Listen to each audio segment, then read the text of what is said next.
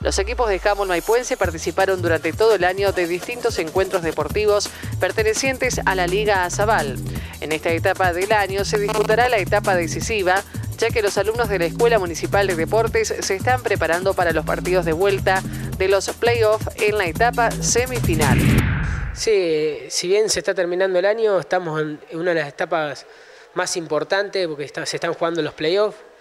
Eh, en la etapa semifinal, eh, partidos de vuelta. Estos playoffs van a permitir la clasificación a la final y además eh, se van a ver los equipos que van a ganar las plazas para el año que viene para, para los nacionales. Entonces, si bien se está, uno ya siente el cuerpo cansado, al igual que los jugadores, estamos en una etapa que son decisivas.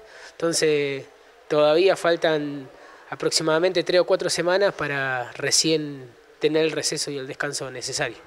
Eh, eh, los cuatro partidos que se clasificaron a los playoffs eh, ya se jugaron en Maipú, porque habíamos terminado primeros en cada categoría, tanto en menores varones, cadete varones, juveniles y junior varones. ahora nos tocan los partidos de vuelta, que serían, en menores tendríamos que viajar a Necochea, en cadete y juveniles tendríamos que viajar a La Barría, ahí justito nos llegó un mensaje del profe porque se, da que en cadetes, tanto nosotros como ellos tenemos un jugador en selección argentina que está jugando sudamericano. Por nuestro lado está Alejo Novillo en Paraguay y ellos tienen un jugador también eh, de categoría cadete que como puede participar en juveniles, ahí nos comentó que quería pasar el partido para el próximo fin de semana.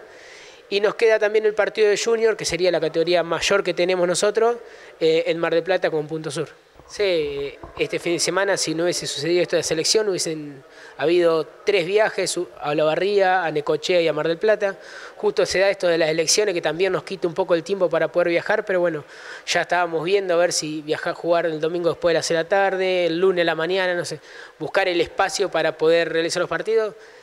Eh, uno se siente con el cuerpo cansado, pero la verdad que poder estar en los playoffs es algo importante porque eh, durante el año se hace un gran esfuerzo para poder llegar acá, entonces se está disfrutando mucho.